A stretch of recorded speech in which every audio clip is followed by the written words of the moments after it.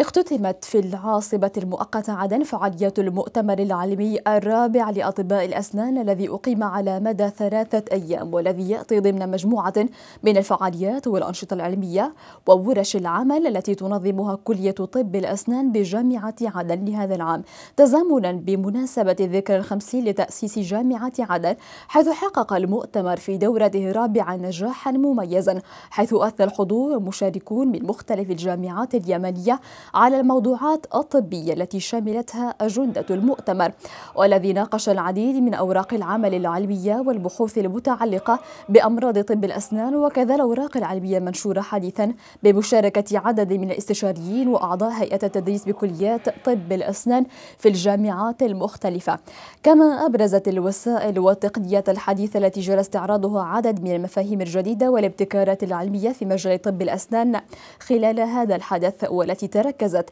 في اليوم الأخير على أمراض الفم والنصائح العملية لأطباء الأسنان ويهدف المؤتمر الذي دشنت فيه العديد من المعارض العلمية إلى تعميق المفاهيم الطبية لمواجهة التحديات والمشاكل الطبية في سبيل البحث عن الحلول العلمية الحديثة لتطوير هذه المهنة والارتقاء بها.